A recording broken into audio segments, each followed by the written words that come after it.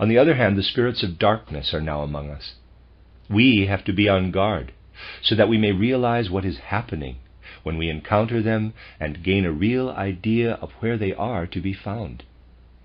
The most dangerous thing you can do in the immediate future will be to give yourself up unconsciously to the influences which are definitely present. For it makes no difference to their reality whether they are recognized or unrecognized.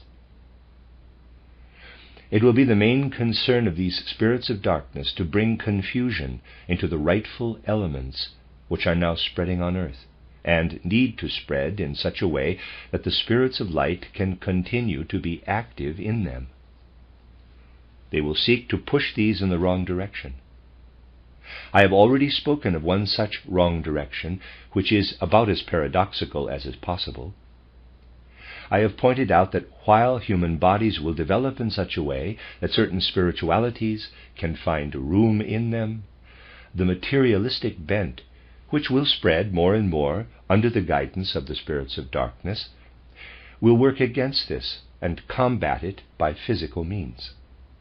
I have told you that the spirits of darkness are going to inspire their human hosts, in whom they will be dwelling, to find a vaccine that will drive all inclination toward spirituality out of people's souls when they are still very young.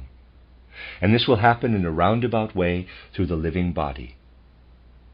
Today, bodies are vaccinated against one thing and another. In future, children will be vaccinated with a substance which it will certainly be possible to produce, and this will make them immune so that they do not develop foolish inclinations connected with spiritual life. Foolish here, of course, in the eyes of materialists. A beginning has already been made, though only in the literary field, where it is less harmful. As I mentioned, learned medical experts have published books on the abnormalities of certain men of genius. As you know, attempts have been made to understand the genius of Conrad Ferdinand Meyer, Victor Scheffel, Nietzsche, Schopenhauer, and Goethe by showing them to suffer from certain abnormalities. And the most astounding thing in this field is that people have also sought to understand Jesus Christ and the Gospels from this point of view. Two publications are now in existence in which the origins of Christianity are said to be due to the fact that at the beginning of our era there lived an individual who was mentally and psychologically abnormal. This individual went about in Palestine as Jesus Christ and infected people with Christianity.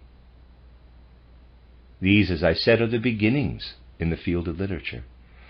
The whole trend goes in a direction where a way will finally be found to vaccinate bodies so that these bodies will not allow the inclination toward spiritual ideas to develop.